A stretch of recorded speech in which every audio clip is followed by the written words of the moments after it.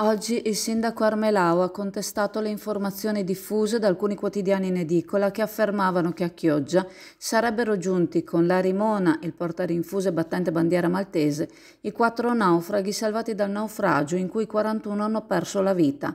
I quattro erano stati salvati dopo alcuni giorni da quando la tragedia si è consumata e allontanati dallo stesso luogo delle correnti.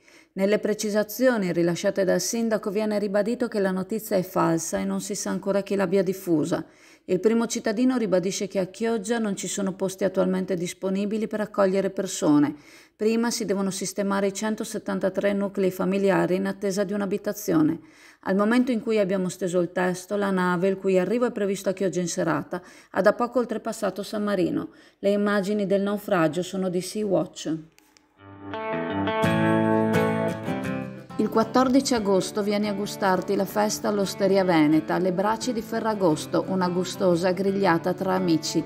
Alla console da Radio Peter Pan DJ Demo. Ti aspettiamo, prenota al 380 892 0113.